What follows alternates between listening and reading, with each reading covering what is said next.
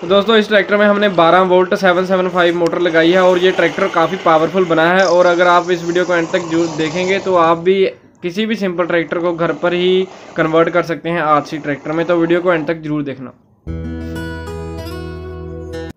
Hello friends welcome to our YouTube channel H D S invention तो दोस्तों, आप देख सकते हैं, हमारे पास है ये जोंडिया ट्रैक्टर और इसके साथ हमें मिली है एक छोटी सी ट्रॉली और ये ट्रैक्टर साइज़ में काफ़ी बड़ा है और ये हमें two hundred and fifty rupees का मार्केट में से मिला है और इसमें पहले कोई भी इंस्टॉल मोटर नहीं है और इसे हम आज मोटर लगाकर एक रिमोट कंट्रोल ट्रैक्टर बनाएँगे। और दोस्तों, आप देख सकते हैं कि टायर के लुक भी काफ़ी अच्छी है और इसके नीचे वाली साइड काफ़ी स्पेस है, यहाँ पर हम मोटर लगाएँगे। तो हमारे पास है ये ट्वेल्व वोल्ट की सेवन सेवन फाइव मोटर और इसके आगे जो हमने गेयर लगाया है, वो हमें मार्केट में से फोर्टी रुपीज़ का मिला है। जो कि मैंने पहले भी वीडियो बनाई हुई है, आप उसमें भी देख सकते हैं।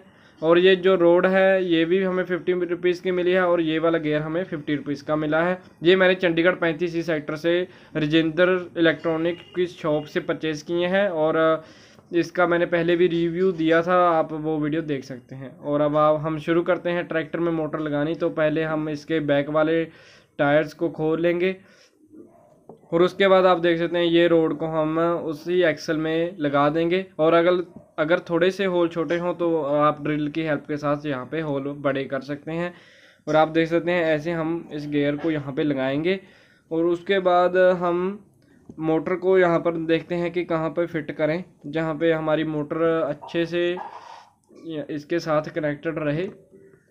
तो यहाँ पर भी ये मोटर हम फिट कर सकते हैं, लेकिन मैं सोच रहा हूँ कि आगे वाली साइड ऊपर वाली साइड कर देते हैं, क्योंकि नीचे अगर हम फिर मिट्टी में चलाएँगे तो मोटर में बहुत ज़्यादा जो धूल मिट्टी है वो जाती रहेगी और मोटर हमारी जल्दी ख़राब होगी। और फिर हम पानी में भी चला सकते हैं इस ट्रैक्टर को अगर हम मोटर को ऊपर वाली साइड लगाएँगे। तो चलिए अब हम इसके ऊपर वाली साइड एक होल कर लेते हैं, जहाँ से हम मोटर को नीचे वाली रोड के साथ कनेक्ट कर देंगे। तो दोस्तों, आप वीडियो को एंड तक ज़रूर देखें। आप भी आसानी से ऐसा ट्रैक्टर अपने घर पर बना सकते हैं। तो अब हम यहाँ से इसे कट करेंगे मोटर की शेप में। तो उसके लिए मैंने दो चाकुओं को गर्म कर कर यहाँ पे इसको काट लिया है।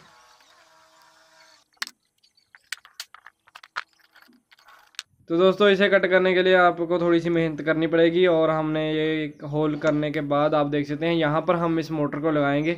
और जो हमारी ये गरारी है, वो हमारे मोटर वाले गेयर के साथ अच्छे से कनेक्टेड होनी चाहिए, तभी हमारा ट्रैक्टर अच्छे से वर्क करेगा। तो दोस्तों, अब हम इस मोटर के साइड में एमसी लगा देंगे और उसके बाद मैं आपको दिखाता हूँ कि कैसे हमारी मोटर यहाँ पे अच्छे से फिक्स हो जाएगी। तो दोस्तों, आप देख सकते हैं हमारी मोटर यहाँ पे अब अच्छे से फिक्स हो चुकी है और ये बिल्कुल भी हिल नहीं रही। तो अब हमारे गेयर अच्छे से यहाँ पर वर्क करेंगे। तो दोस्तों, ये है जो हमारे पास टायर है, इनके बीच वाले होल को हम थोड़ा सा बड़ा कर देंगे ताकि जो हमारी शाफ्ट है, उस पर ये अच्छे से फिट हो सके। तो चलिए, अब हम दोनों टायर्स को यहाँ पर फिट कर कर देखते हैं।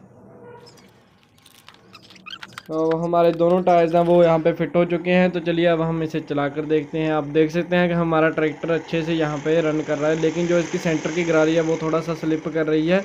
उसे रोकने के लिए हम इस शाफ्ट के ऊपर एक कट लगाएँगे ताकि जो हमारा वो सेंटर वाली गरारी का स्क्रू है वो यहाँ पे अच्छे से टाइट हो सके।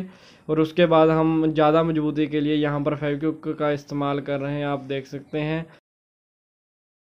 गरारी तो हमारी यहाँ पे फिक्स हो चुकी है, लेकिन जो ये सेंटर वाली हमारी शाफ्ट है, इसमें दो होल दिए गए हैं दोनों ओर पे, जो कि हमारे टायर के स्लिप को रोकने के लिए हैं।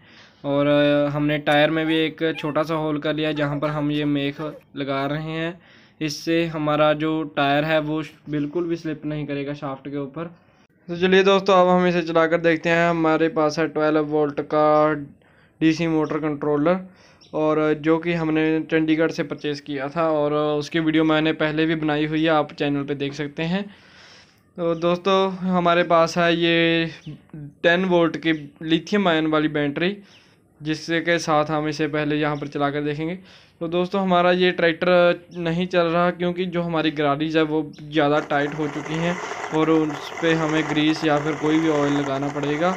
तो यहाँ पर मैं इसे पे मगलैर लगा रहा हूँ और अभी ये अच्छे से यहाँ पे वर्क कर रहा है स्लो स्पीड पे भी। ज़्यादा स्पीड पे तो इसने चल ही पड़ना था, लेकिन हमें इसे स्लो स्पीड पे भी चलाना था इसलिए।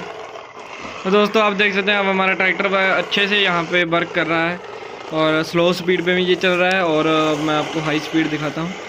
और इसकी काफ़ी ज़्यादा स्पीड है। तो दोस्तों अब हम इस ट्रॉली को यहाँ पे मिट्टी के साथ लोड कर कर देखेंगे कि ये इस ट्रॉली को पुल कर पाएगा या नहीं। और अगर आप हमारे चैनल पर पहली बार आए हैं तो आप हमारे चैनल को सब्सक्राइब भी कर लें। और अगर आपको ये वीडियो अच्छी लगी तो वीडियो को लाइक कर दें। तो दोस्तों अब हम इस ट्रॉली को मिट्टी के साथ भरेंगे लेकिन उससे पहले हम इस ट्रैक्टर के ऊपर यहाँ पे छतरी लगा लेते हैं। आपको चलाकर दिखाता आप देख सकते हैं जो छतरी हमारे हमें इस ट्रैक्टर के साथ ही मिली थी वही हमने इस ट्रैक्टर के ऊपर लगा दी है। और अगर आप भी ऐसा ट्रैक्टर परचेज़ करना चाहते हैं तो आपको मैं डिस्क्रिप्शन में एक नंबर दे दूँगा। आप उनको व्हाट्सएप पे भी मैसेज कर सकते हैं और कॉल भी कर कर आप उनसे इस ट्रैक्टर को अपने घर पर मंगवा सकते हैं। तो अब हम इस ट्रॉली के अंदर भर देंगे मिट्टी। और मिट्टी भरने के बाद आप देख सकते हैं, हमारा ट्रैक्टर इस ट्रॉली को आसानी से खींच रहा है। तो दोस्तों, अब हम इस ट्रैक्टर के पीछे थोड़ी सी बड़ी ट्रॉली डालकर देखते हैं कि उस ट्रॉली को ये खींच पाएगा या नहीं। तो आप देख सकते हैं, हमने बड़ी ट्रॉली इस ट्रैक्टर के पीछे अब लगा दी है। और इसमें अब हम मिट्टी को भर लेते हैं ऊपर तक। तो हमने इस ट्रॉली को फुली लोड कर दिया है और अब हमारा ट्रैक्टर है, वो इसे खींच नहीं पा रहा क्योंकि हमारा ट्रैक्टर आगे से बहुत ही ज़्यादा हल्का है। तो अब हमें इसमें लगाना पड़ेगा वेट तो हमने इसके ट्रैक्टर के आगे वाली साइड वेट लगाया है और हमारा ट्रैक्टर काफ़ी ज़्यादा ज़ोर लगा रहा है, लेकिन ट्रॉली निकल नहीं रही। तो दोस्तों, इस ट्रैक्टर पे हमें और ज़्यादा वेट लगाना पड़ेगा। तो अब हम इसके बोनट में काफ़ी हमें स्पेस मिल जाती है, वहाँ पर हम वेट लगाएँगे। दोस्तों, अब हम इसमें लगाते हैं थोड़ा सा वेट तो आप देख सकते हैं इसके बोनट के अंदर काफ़ी ज़्यादा स्पेस है, जिसमें कि हमने लोहे के नट बोल्ट रख दिए हैं और उससे इस ट्रैक्टर का वेट काफ़ी ज़्यादा हो गया और आप देख सकते हैं अब हमारा ट्रैक्टर आसानी से इसे खींच पा रहा है। तो दोस्तों, अब मिलते हैं नेक्स्ट वीडियो में। अगर आपको ये वीडियो अच्छी लगी तो वीडियो को लाइक ज़रूर कर दें और हमारे चैनल को सब्सक्राइब कर लें।